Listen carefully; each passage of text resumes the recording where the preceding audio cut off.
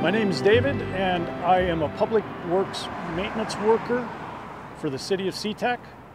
And today I am out with my partner on graffiti cleanup.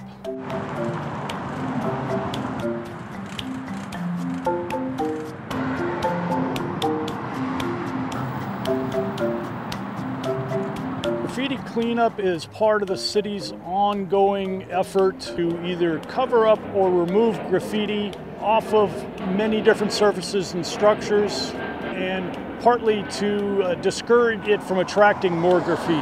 Our cleanup process depends on the surface that we're working on. Some surfaces uh, we're able to use a graffiti remover and a graffiti scrub and we're able to wipe it off. But other surfaces that are more porous or cement, sometimes we find it necessary just to paint over that graffiti at the time. We're really trying for the most part to eliminate a tag if it's on there, somebody's affiliation or their initials or, or, or what have you.